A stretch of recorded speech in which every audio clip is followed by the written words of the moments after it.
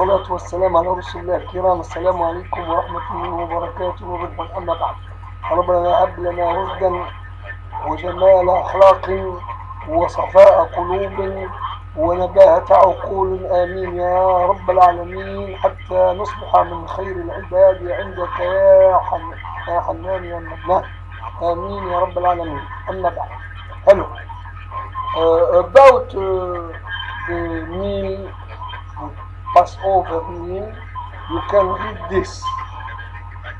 The form dress, the nature of the meal, the, the instructions to eat in haste, stuff in hand, stressed the fact that the people whose families had been static in Goshen for nearly uh, two hundred, uh, five hundred years wa- were on the point of becoming a pilgrim people. Originally, the pilgrim uh, feast was to be at the Mount of God, of Allah, in the wilderness.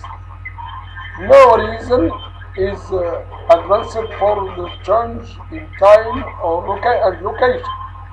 That it was entirely appropriate to use the sacri- sacrificial meal associated with the protective, protective blood and uh, on the door frames as a dispariting meal.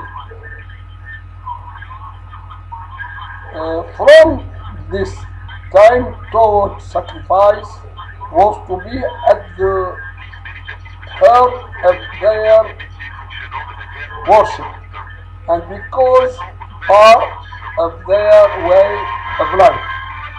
God's people, the Muslim, must ever be in a state of readiness.